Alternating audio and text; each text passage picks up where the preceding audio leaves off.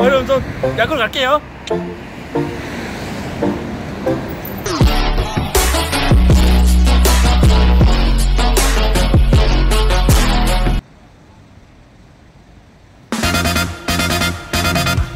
어, 태권님, 여긴 어떤 일로 오셨어요? 어, 요즘 날씨가 굉장히 춥잖아요. 제가 두 시간 전에 감기가 걸렸어요. 너무 추워요, 지금. 지금은 약 받으러 가고 있거든요. 한